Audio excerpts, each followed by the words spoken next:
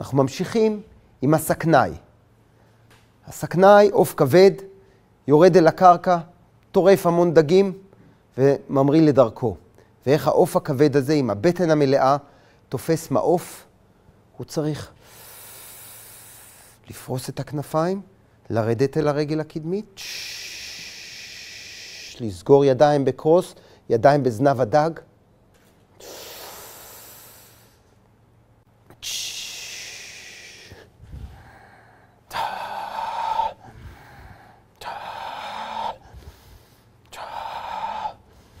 ולהחליף רגל, ולצמצם את התנועה.